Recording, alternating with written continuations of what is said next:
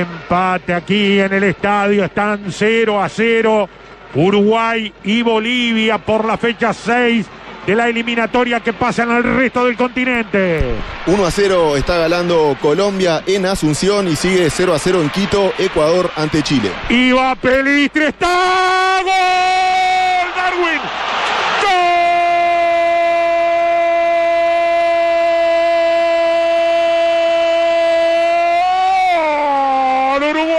Darwin Núñez.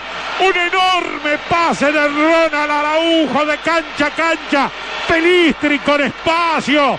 Corrió hasta el fondo y tiró un centro exquisito para la llegada de Darwin Núñez, que de aire definió a la derecha del arquero para marcar el primero, casi como que si fuera llenando cuadros. Los iba completando uno a uno hasta que llenó y dijo está el primero. Gana Uruguay, Darwin Núñez, Uruguay 1, Bolivia 0 a los 15 minutos. 13 a 0. Si no lo sentís, no lo entendés. Era algo que estaba para pasar, ¿no? Es decir, Uruguay había golpeado, había tenido dos situaciones o tres, ya ni sé, muy cercanas, donde apenas no pudo definir bien. Y bueno, está en este momento una gran definición de Darwin, ¿no? Hay un gran pase de Araujo, sin duda, pero hay una muy buena definición de primera, de aire. Toca la pelota para colocarla. Un golazo de Uruguay que es mucho más que Bolivia.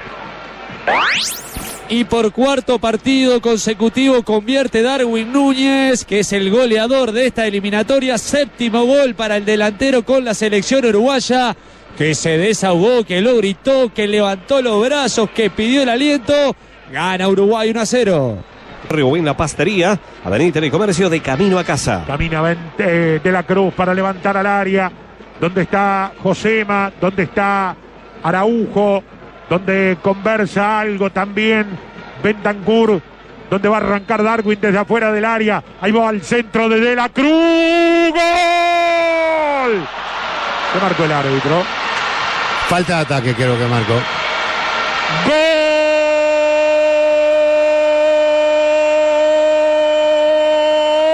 ¡Gol! Creo yo, de Uruguay. ¿Puedo gol? No puedo gol. ¿Puedo gol? No puedo gol. ¿Puedo gol? No puedo gol. Perdone, yo, yo no, es que yo no un sé gesto del árbitro. A ver, la pelota entró. Sí, eso Es está gol. claro, pero el árbitro no señaló la mitad de la cancha. No, un gesto mar- raro. marcó el área chica, después llegó al área chica, giró y marcó el medio. Eche acordar al Roquetito Cherulo.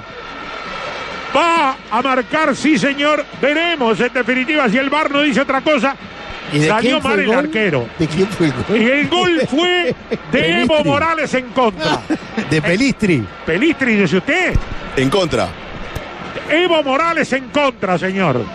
El centro contra. que vino desde la izquierda, la pelota rebotó en un ciudadano boliviano allí en el área, cuando el arquero no sé a dónde salió y terminó metiéndose en el arco. Uruguay gana 2 a 0, casi sin quererlo.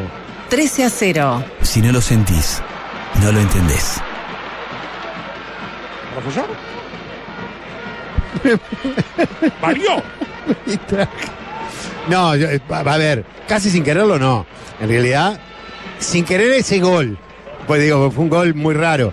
Pero fruto de lo que ha sido el partido, ¿no? Que hasta tiene un momento en el que se hace difícil, porque no pasa nada en el partido. La pelota la tiene Uruguay, que busca, busca, busca, busca, este, y no tiene rival. Bolivia se encierra y lo espera. Ahora da la sensación que salió un poquito más arriba a tratar de presionar a Uruguay. Finalmente, Gabriel Villamil en contra. Fue el autor del segundo gol de Uruguay. Todo el mundo miraba, miraban la pantalla gigante, miraban al juez, miraban a los jugadores celestes. ¿Es gol? ¿No es gol? ¿Qué pasó? ¿Cómo entró? ¿Quién la metió? Gabriel Villamil en contra. Gana Uruguay 2 a 0. Bueno, muy bien. Esta es que para el juego de Bielsa es para partidos muy especiales. Por ejemplo, este, que están cerrados, que es muy difícil abrirlos y que necesita precisión en corto, ¿no? En, el- en encontrar lugares pequeños. Y ahí va Valverde, gran centro.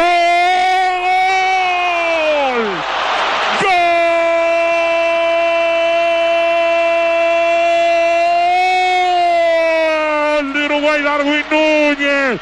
Gran centro de Valverde al segundo palo. Apareció Quique Olivera.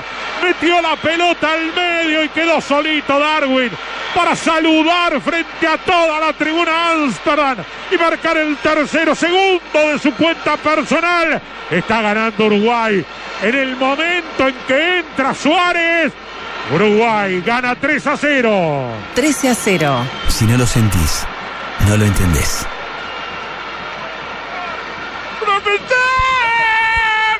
Es que estoy mirando a Suárez a ver si el cuarto árbitro levanta la bandera o no levanta la bandera. Y bueno, está, lo que necesitaba Uruguay era un poco de explosión, que en un momento determinado lo había perdido, estaba aburrido el partido.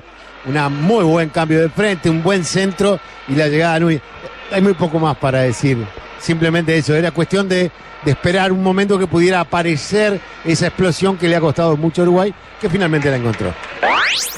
Quinto gol para Darwin Núñez en la eliminatoria y fue la última para el artiguense que se retira para que ingrese ahora sí con la número 9. Después de mucho tiempo, Luis Suárez vuelve a ponerse la 9 de Uruguay, se vuelve a poner la cinta de capitán. Vuelve el goleador histórico a la cancha. Salió Darwin, salió de la Cruz. Entra de Arrascaeta. Abrazo enorme entre Darwin y Luis. Lucho a la cancha.